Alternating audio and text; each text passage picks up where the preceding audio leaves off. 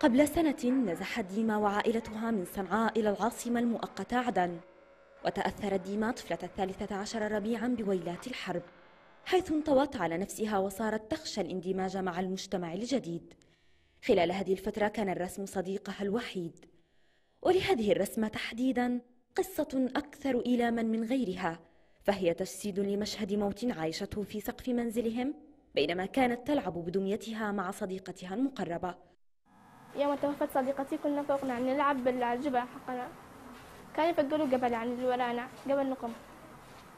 عن صديقتي قلت لها رصاصة من فوق. بعدين إحنا أسعفناها قعدت اسبوعا بنتكم وماتت هذه رسالة ديما. هي ترغب أن تصل لزعماء الحرب للمطالبة بوقف الاقتتال وترك الأطفال يعيشون بسلام.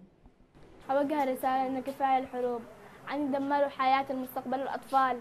ما فيش يعني خلاص الدنيا دمار. هنا برنامج تأهيلي لجمعية المعنفين أسريا والعائدين إلى أرض الوطن بالتعاون مع المركز اليمني للإرشاد الأسري مثل نافذة ضوء لديما وأقرانها حيث بدت مطمئنة أكثر في هذا المكان بعد أن شعرت فيه بالسكينة. خصوصا وهي تواصل تلقي العلاج النفسي الذي يساعدها على الانخراط في المجتمع بعد أن أصبحت جزءا منه.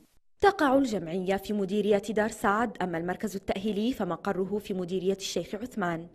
لكنهما يعملان بالتعاون على تقديم برنامج علاجي متكامل ويبذلان جهودا حثيثة لإعادة تأهيل المعنفين أسريا والنازحين والمهمشين أيضا. نحاول نقدم لهم مساعدات وخدمات ترفيهية لأنهم هذول أجوا من بعد معاناة الحرب. والآن الحمد لله يعني قدرنا نزيل الهم والغم نوعا ما من بعد نزوحهم ونستقطب أكثر عدد كمان النازحين عندنا. يرى الكثيرون أن ثقافة العلاج النفسي يجب أن تنتشر في المجتمع. شأنها شأن أي علاج طبي آخر خاصة وأن الحروب التي عاصرها المواطنون في هذا البلد جعلت من دور مراكز العلاج النفسي دورا أساسيا. يجب أن يحظى بالاهتمام والدعم والرعاية الخاصة. يعتقد بعض علماء النفس بأن الجميع يحتاج إلى علاج نفسي ولعل الأكثر حاجة إلى هذا العلاج هم الذين عانوا من العنف الأسري والتهميش المجتمعي وشهدوا ويلات الحرب. ولكن يبقى الأمل في مراكز ودور العلاج وإعادة التأهيل. حنين جمال بالقيس عدن.